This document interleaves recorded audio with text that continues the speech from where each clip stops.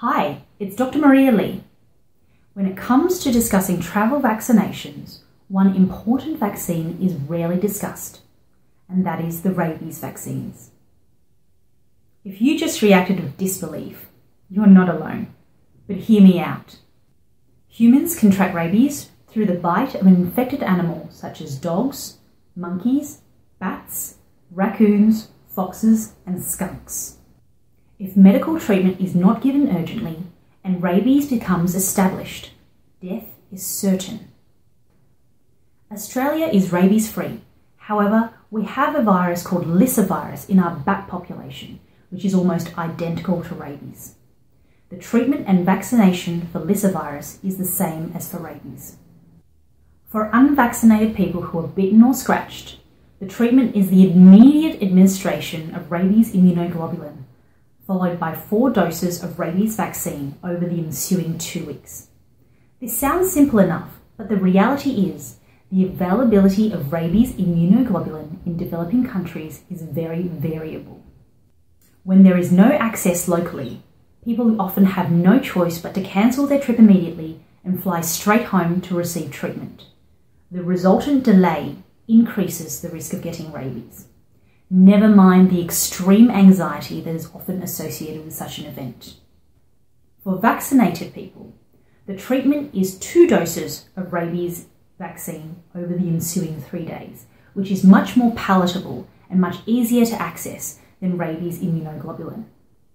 Even if local access was limited and you needed to fly home for treatment, there is much less anxiety involved because there is the reassurance that the vaccines you've had previously are already giving you a certain level of protective immunity.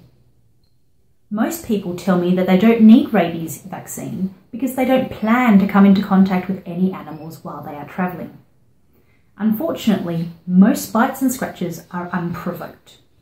Children in particular are more susceptible to rabies because they're more curious around animals, they may not report the bite, and also their small stature makes them more prone to bites around the head and neck area, which are much more risky for rabies.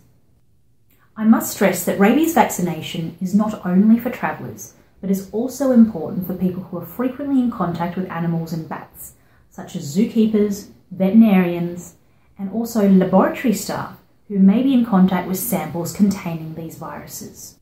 In fact, I personally treated an Australian patient who was scratched by a bat while in her own garden. Regardless of whether you've been vaccinated, follow these steps while you're travelling. Number one, avoid all animals, whether caged or wild. Number two, don't carry food around with you, which may attract the attention of animals. Number three, keep a close eye on your children at all times. Number four, if you are bitten or scratched, immediately wash the wounds out with soap and water and apply a solution such as povidone iodine, which will kill as much virus as possible. This will reduce the amount of virus left in your wound and potentially delay the spread of rabies. Number five, see a doctor as soon as possible for rabies vaccination and or rabies immunoglobulin. The amount that you'll need will depend on whether you've been vaccinated and the bite or scratch in question. And number six, don't forget tetanus.